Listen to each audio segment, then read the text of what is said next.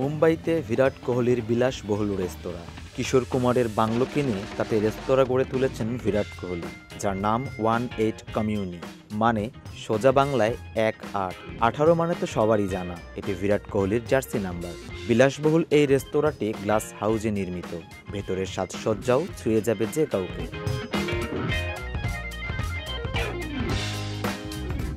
মুম্বাই এলে এই রেস্তোরাঁয় খেতে আসেন কোহলি শ্বশুরবাড়ির এলাকা বলে কথা মাঝে মাঝে নিয়ে আসেন স্ত্রী আনুষ্কাকে চলুন দেখে নেওয়া যাক রেস্তোরাঁর ভেতরের এক ঝলক